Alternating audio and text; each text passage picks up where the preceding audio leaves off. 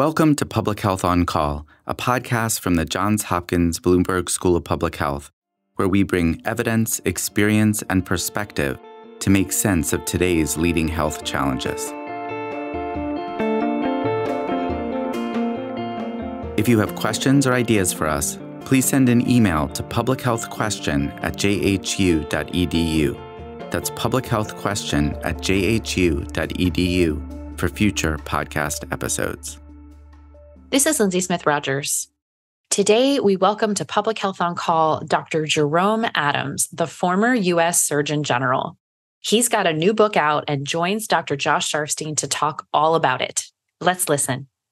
Dr. Jerome Adams, thank you so much for joining me today on Public Health on Call. I'm holding in my hand a copy of your new book, fresh off the presses, called Crisis and Chaos Lessons from the Front Lines of the War Against COVID 19. Welcome. Well, thank you so much for having me, Dr. Sharfstein, Josh. I really appreciate the opportunity to talk about this. Uh, lots of, I think, interesting stories and interesting lessons in that book. And it was a little bit of therapy, too, if I'm going to be honest with you, after uh, a really tumultuous time, not just for the country, but for me personally. Well, let's start a little bit about you because you tell your story here, and it would be great maybe to introduce yourself a little bit more to our listeners. Well, I appreciate that because so many people want to jump right into the to the meat. And I try to help people understand that a lot of what I did when I was in that role was uh, inspired by, driven by uh, how I grew up. Uh, I grew up in Maryland, and we're in Baltimore right now, but I grew up in Southern Maryland in a rural community. So I understood what it was like to have limited access to health care. Our nearest hospital was 45 minutes away. It was a critical access hospital. I was asthmatic, and uh, I remember being flown by helicopter from rural St. Mary's County to Washington, D.C., because they didn't have the capability to treat me there. And uh, it's important for the listeners to understand that black boys are three to four times as likely to die from asthma as anyone else. Right. And uh, I lived that. So I understood the importance of representation in a very real and tangible way, even going back to eight years old when I was being flown medevac from that community. But uh, my parents were school teachers. They inspired me to work hard in school, and I got a scholarship to go to University of Maryland, Baltimore County, right down the road from here. And what's interesting is that people ask me, Did you ever dream you'd be Surgeon General? The honest answer is no, because despite being in the hospital over and over again as a young person, I never met a black doctor. The first black doctor I met was when I was in college here in Baltimore, and I went to an event and met Dr. Ben Carson, who was here at Johns Hopkins. Right. And that was the first time uh, that a light bulb went off that, hey, you could use your skills to actually help other people. And so, uh, you know, I, I share those stories because representation matters. And there are so many people who have said to me, family, friends, strangers, how could you work for that administration? How could you work for that man? And when I think about how I grew up, how lack of representation impacted me, how fewer black men are graduating from medical school now than 40 years ago, whenever someone says, How could you? I always come back to, How could I not? Well, we'll get into this a little bit more, but it's not just that you served in the Trump administration, but that you remained yourself as you served in the Trump administration. You were able to speak to the American people about the truth that you understood. And that was not entirely the case for everyone, but we'll talk about that more. I just want to say between college and medical school and the White House and HHS, you were in Indiana. Yes, yes. I moved to Indiana for medical school, and I actually never dreamed growing up on the East Coast in a very democratic family that I would go to very conservative Indiana. But God works in mysterious ways, and they gave me a full scholarship. I grew up not just in a, in a rural community, but I grew up in many cases relying on government assistance programs and every educational decision I made in my life was based on who gave me the best financial aid package. Mm-hmm. Indiana did, and I ended up there. And interestingly enough, I um, got involved with uh, different professional organizations that allowed me to meet then Congressman Mike Pence. Hmm. And uh, got on his radar screen. He was impressed with me. And 10 years passed, didn't think anything of it. Congressman Pence becomes Governor Pence, and he needs someone to run his state Department of Health. And so, really short version of a much longer story, my name got thrown into the hat, and I end up running the State Department of Health of Indiana during Ebola, during Zika, uh, during an HIV crisis that was uh, the worst in uh, in U.S. history. And and I just pause on that crisis for a moment because that was a time when I believe Governor Pence actually changed his views on syringe exchange programs, and you were in the middle of that. Exactly. We had a HIV outbreak related to injection drug use, and the public health intervention that we knew we needed was a syringe service program, syringe exchange. But those were illegal in the state of Indiana at the time. And so I worked closely with the local community, a rural, um, mostly white community, very conservative, worked with the local sheriff, local faith based communities to actually help them understand the science behind syringe service programs. And uh, they, it was actually they who went out, went to Governor Pence and said, We've talked to Dr. Adams. We believe this is the right thing for our community. And I think the lesson learned there is something I tell people all the time. People need to know that you care before they care what you know. And really, what I did there wasn't public health, it wasn't science. It was building relationships and engagement with the local community. And by doing that, then they were able to open their minds and hearts and listen to what I had to share from a public health and science standpoint. And I don't think we did enough of that during the pandemic. No matter which side of the coin or of the aisle you're on in terms of pandemic policies, I don't think we did enough outreach and uh, relationship building. So let's let's talk about the pandemic. You come from Indiana from having worked for Governor Pence, from having built bridges and you know, spoken to science, even in very complicated political circumstances, to the administration that maybe is not primarily known for its its reliance on science as the primary guiding uh, point. Well, so what's interesting when I was Surgeon General is I put out a report called Community Health and Economic Prosperity. And it was a report that, that drew the connections and links between uh, our investments in health and healthy communities and our ability to prosper individually and from a societal perspective. And I did that because there's a perception that Republicans are anti science. That is not what I have found to be the case. I've just found that, like actually most Americans, when you look at polls, they tend to prioritize their economic success and ability to prosper over their health. And uh, I'll ask our, our listeners this right now. Think about how many times just in the last week, for the sake of your job, you've not, uh, not eaten right, not exercised, not gotten enough sleep, not spent time with your family. We every day make decisions about trade offs between health and our ability to generate income and economic prosperity. And um, I think what we what I've tried to do is show people they're not oppositional. They don't have to be one versus the other, and that when you invest in health, you actually tend to do better from a financial perspective. And COVID showed us that. Unfortunately, it showed us in a way nothing else I've ever said has been able to demonstrate that when you fail to invest in health, that you're going to have schools shut down, you're going to have businesses shut down, you're going to have people with long COVID disabled, right. and so on and so forth. Can I give you my answer to your question? Please, please do. I plead the fifth. so let's talk about COVID. A big part of the book is about the experiences you had. And mm-hmm. to bring people back, this was a time when, for, for a long time, the president was pretty much hoping publicly that this whole thing would go away. There were moments when president was advocating for things that were plainly ridiculous or, you know, not serious in terms of a response to COVID. And you were appearing regularly urging people to either get vaccinated when that time came or protect themselves in different ways. What was that experience like? It was very, very emotionally jarring for me. And the thing that was the most emotionally jarring, and I talk about it in the book, is that I was speaking, at least in my mind, as a physician and as America's doctor. But so often, the questions I was asked, the way my words were framed by the media, was in a political way and not in a health and science way. And so I'm often asked to think back during that time, and it was a confusing time. Remember when we didn't know if you should bring your mail in? When we said, should you wipe down your groceries before right. you brought your groceries in the house? There was a lot we didn't know. And writing the book actually walked me back through many things that I've blocked out. And so that that that was part of I think the therapy of the of the book.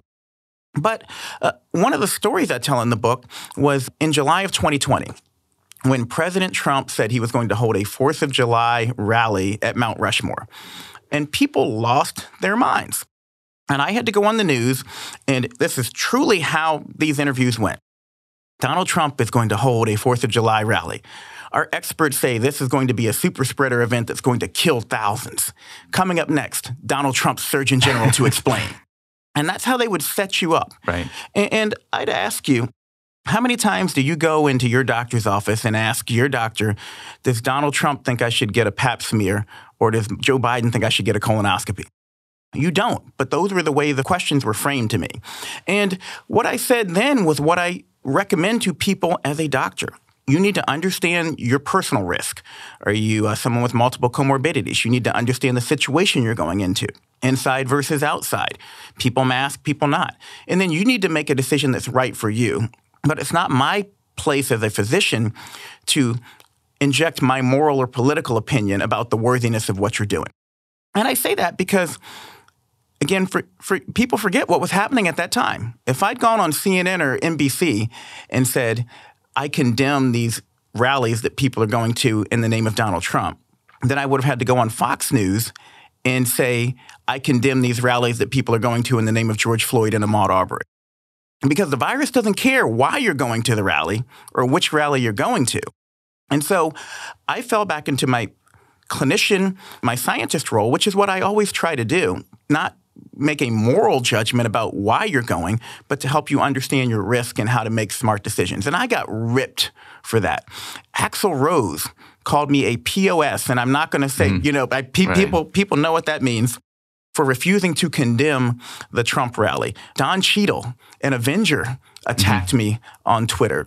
And and again, the advice I was giving was good, sound medical advice, whether you're going to a George Floyd rally or a Donald right. Trump rally. Now, I wonder, as you were in that environment, did you have your own bright lines for what you would or wouldn't do or say? I, I absolutely did. Some of the best advice I got before I took on roles long before I was Surgeon General, but when you're in these high level roles, is to have your resignation letter written on day one.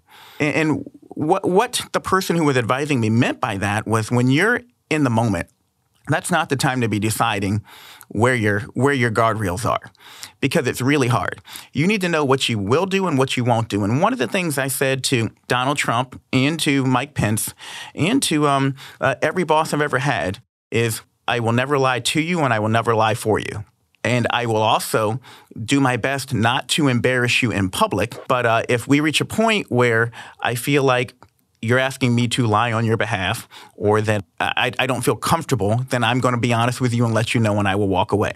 And so every single day of that administration, I had to ask myself in the morning, am I going to do more good today at work than harm? And every night I had to reassess that.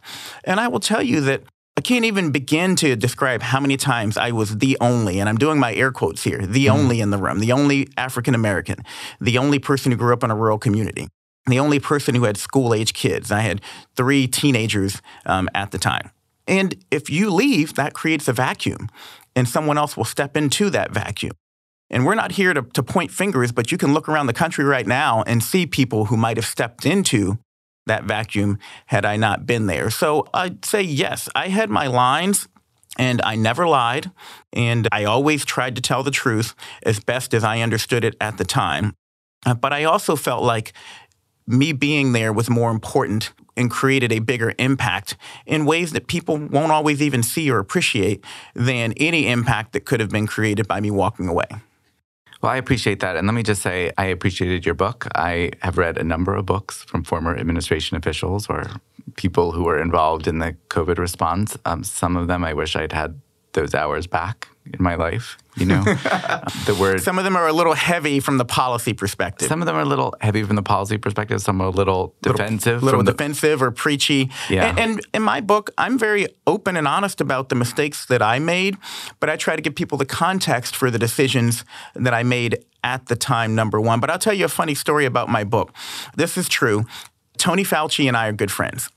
And he and I um, were, were put out there as the sacrificial lambs to speak on behalf of this pandemic. And most people, even though Tony is beloved by a lot of people right now, they didn't know his name before 2020. So again, we were both thrust out there as spokespersons. And Tony is very professorial, if you will. He's a great communicator, but when he speaks, you know he's the smartest guy in the room. And you often leave not understanding everything that he mm-hmm. talked about, but but but having confidence that he knows what he's talking about. I was a very different, and, and that's because that's how I grew up. And the story I wanted to tell you really quickly is I remember being at the White House on live TV and I have an Apple Watch, and I'm being broadcast, and I said something, and my phone starts ringing, and my wrist is buzzing, and I look down, and it's my mother. And my mother, you know, is, is calling to tell me, I don't understand what you just said. And so I had to constantly phrase what I was saying as if my mother was listening because she usually was, and she would call me out if she didn't understand. Right. And so I spoke very plainly. I like to speak in stories. I like people to to understand what I'm saying and not to try to blow them away with with with scientific words or by making them think I'm the smartest person in the room, but by again making them understand that I care about them and that that I want what's best for them. Let me ask you this question: When you did a good job, would your mom call you sometimes? My mother would call me all the time. She she loved me. She loves me uh, unconditionally. Uh, my father, as is typical in many relationships, no matter what I did, always had some advice for how to do it better. But uh, you best believe that if I did something that my mother uh, didn't approve of, she'd she'd call me out. That's good. I, when I had the opportunity to go on TV, I would always get a call from my mom, and basically the bottom line is, you know, keep working at it. Maybe there'll be another pandemic, and you'll be able to do a good job. Well, um, one more quick funny story that's in the book. My mother came to the White House one time, and uh, we took a picture with Donald Trump. And my mother literally refused to speak to him or even look at him. And I have this picture in my basement right now of my mother and Donald Trump and Melania Trump and my whole family. And my mother is scowling and looking away from him. And I tell that because it shows you the challenges of being in this role at a moment that that for many people would have been the proudest of their life. You're being honored at the White House. Your mother's there watching you. Uh, your mother, who, who who didn't go to college, is, is watching you being honored as a doctor, and uh, she can't even bear to smile in the photo because of her political disdain Right. for for the president. I was dealing with this not just in the public eye. I was dealing with this at home Right. and with my family. There's a moment in the book where you um, are on the phone with Jesse Jackson, and you call your mom. Yes, yes. So again, a lot of people only remember seeing me standing next to Donald Trump. But I worked hard to engage with the NAACP, with Jesse Jackson, uh, with Oprah Winfrey, with figures who I felt would help me connect with communities that are that are marginalized. And and I call all of those folks friends now. And the funny Jesse Jackson story was uh, Jesse Jackson and I were working to increase awareness about COVID in the African American community in early 2020 because a lot of people forget that in early 2020 this hit China, then it hit Italy, then it hit Seattle, Washington in the United States, and many uh, African Americans didn't think that COVID was going to impact them. Right. And so I worked with the NAACP and Jesse Jackson. And Jesse Jackson and I were talking on the phone, and I said, My mother loves you, absolutely loves you. And he said, Well, call her up. So we called my mother up and conferenced her in, and she about lost her mind. I think that was the greatest highlight of my time as Surgeon General was uh, her getting to uh, speak on the phone with Jesse Jackson. So thank you, thank you, Reverend Jackson, for that moment because you got me some major points with Mama. I want to go back to this idea that you were talking to the American people. And it's hard for me to think of anyone in our field who can do a better job talking to the American people across political divides. You can talk to not just Democrats, but liberals. You can talk to not just Republicans, but conservatives. You'll go into any room, you'll you know, strike up a conversation and you'll try to find that that common connection. You talked about your report on, on economics. On the one hand, it's a compliment to say you're one of the people who can do that, but at the same time, you're one of the few people who can do that. It's not something that is really widespread, and it's one reason why public health and health in general is really suffering in this country. Yes. And so I, I wonder if you can speak to your experience doing that. How are you able to do that? What do you bring to those conversations? Well, I was blessed in a number of ways. Both my parents are school teachers. And when you're a school teacher, you've got to take care of rich kids, poor kids, black kids, white kids, Republicans, Democrats. And so I saw my parents model that throughout my life, uh, that they had to be able to speak with children and parents uh, from across the aisle and make a connection with them in a very real way. So that's number one. But number two, and I say this to any uh, younger people listening, and when I say younger, I mean teenagers, uh, uh young adults. Uh, one of my favorite quotes is by Mark Twain. Mark Twain said, Travel is fatal to prejudice, bigotry, and narrow mindedness. And what he was saying there is that when you can see the world through someone else's eyes, and by traveling to where they are, um, it opens you up to to ideas that you might not previously have considered. And I've been blessed. I've lived in Africa, I've lived in in Europe.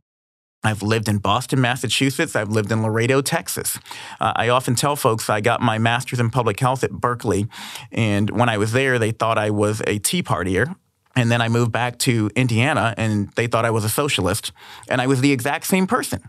Right. But but that said, in all of those places where I've lived, I've had neighbors, and I've been to my neighbors' houses, and we've had barbecues, we've shared meals and broken bread together.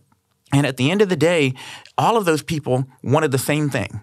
They wanted to be healthy, to be happy, and to see their family prosper. They may see different pathways to get there, but uh, at the end of the day, we all want the same things. And we live in a world now where media, especially social media, preys on, on our differences. But I always try to remember that there is more that we share in common than what there ever could be that separates us as humans. And if you just remember that and take the time, make the commitment to find those commonalities, then you'll more often than not be able to have a at least a conversation with folks, even if you may disagree on a particular topic.